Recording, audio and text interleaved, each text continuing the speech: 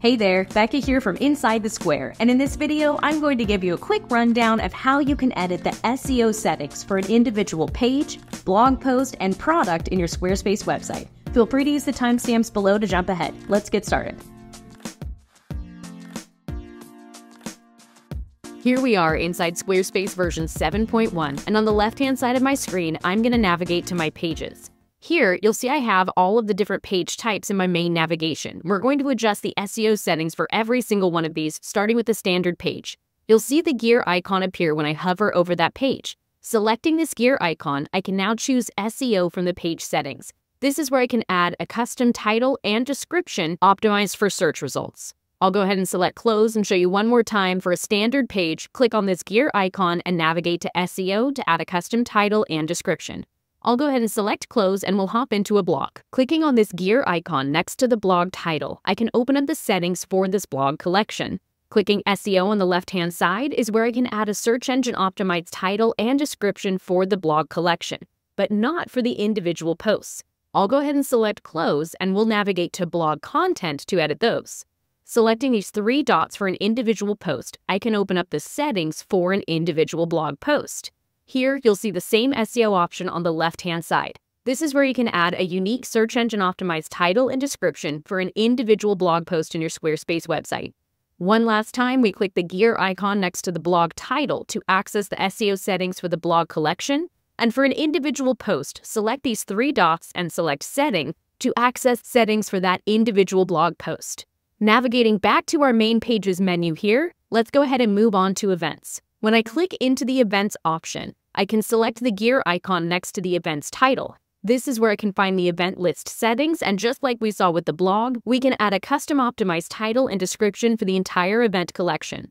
If I select Close here, you'll see a very similar option to the blog post. Clicking on these three dots for an individual event, I can select the settings and navigate to the SEO options to add an optimized title and description for the individual event. I'll go ahead and select Close and we'll navigate back out of here and move on to Course. Clicking into a course, you'll see the gear icon again. Selecting this icon will open up the settings for the course, and you guessed it, we can add a search engine optimized title and description for the course itself. Now, individual lessons have a different setting. At the time of recording this, individual lessons do not have their own SEO information. When you click on these three dots to access the lesson settings, you won't find an SEO tab here. The only search engine optimization data that we can add to a course is for the entire course collection, and again, we need to select this gear icon to access the course settings. I'll go ahead and navigate back to our website menu and let's move on to Portfolio. Selecting the gear icon next to the portfolio title will open up the portfolio settings, and here we have the SEO tab where we can add an optimized title and description for the portfolio collection. I select Close, we can click on the three dots and update the SEO settings for an individual project inside the portfolio. By selecting Settings, you'll see this has its own SEO tab where we can add an optimized title and description for the individual project. I'll go ahead and select Close and we'll navigate out of here and head to Store. Store and videos are very different, so stick with me here. Hopping into Store, you'll see the gear icon and again the SEO tab. This is where you can add an optimized title and description for your entire store. Editing this for an individual product is very different. Select the three dots and select Edit at the very top of the product menu. Here you'll be taken to the product page. Under the marketing section, you can click this on the left-hand side of your screen. It'll scroll down to that section for you. This is where you need to select Edit, and then you can add a search engine optimized title and description for an individual product. Because this is so different, I'm going to select Cancel and we'll do that together one more time. From our main pages menu, click into your store. Hover over the product that you'd like to add SEO information for. Click the three dots and select Edit. Select Marketing on the left-hand side, and then select Edit underneath the preview of the search description. Here you can add a search engine optimized title and description for an individual product. After you've changed that, select Apply and Save, and that will change the SEO information for that individual product in your store.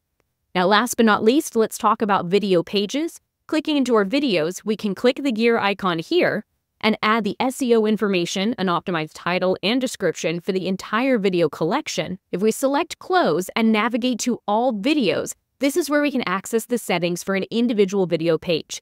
Click the three dots when you hover over that specific video and select Edit Video. On the left hand side of your video menu, you'll see the SEO option where you can add an optimized title and a description. I'm sure you put a lot of work into your Squarespace website, so let's make sure that the right people can find it. To learn more about search engine optimization for Squarespace, check out the related content linked in the description below. And be sure to sign up for my email list at insidethesquare.co forward slash email. I'll send you tips and tricks every week about how to make Squarespace uniquely yours. That's insidethesquare.co forward slash email.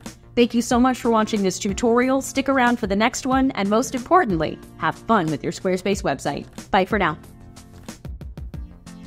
Find everything you need to make Squarespace uniquely yours at InsideTheSquare.co. That's InsideTheSquare.co.